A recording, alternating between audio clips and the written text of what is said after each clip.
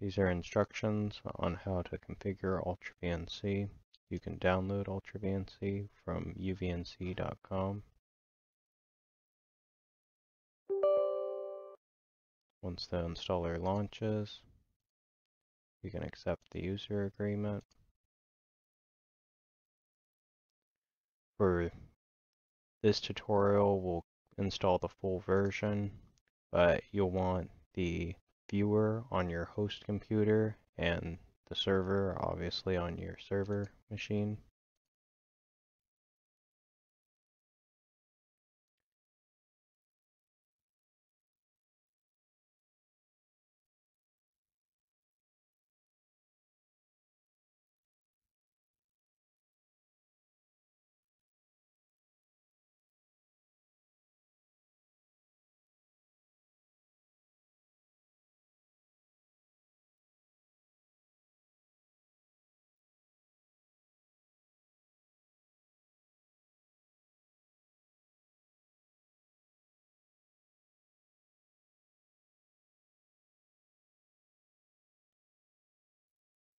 Once the installer is finished, you'll have two icons. The server properties have to be set with a password.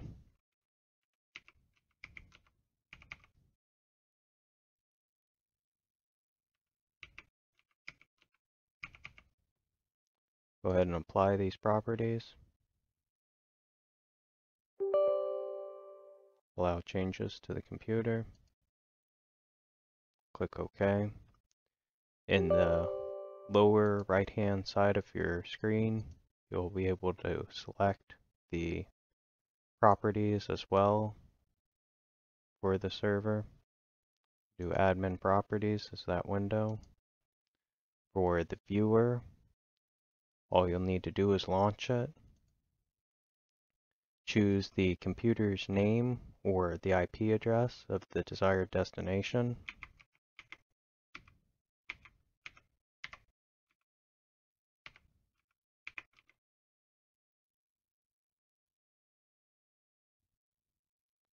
connect. You'll be given the server's password to enter in.